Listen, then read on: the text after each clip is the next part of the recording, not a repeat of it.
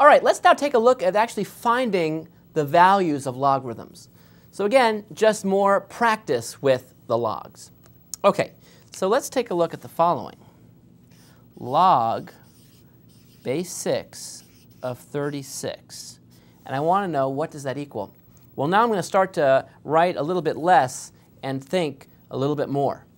So a log is an exponent. So this mystery number is the exponent that I have to raise 6 to in order to make it equal uh, 36. And so what is that? Well, 6 to what power equals 36? The answer is 2. So that equals 2. Okay. Let's try another one together. How about this one? Log base 3 of 81. Why don't you give this a shot right now? See if you can figure out what green number I should write in here, remembering that a log is the exponent. Give it a shot.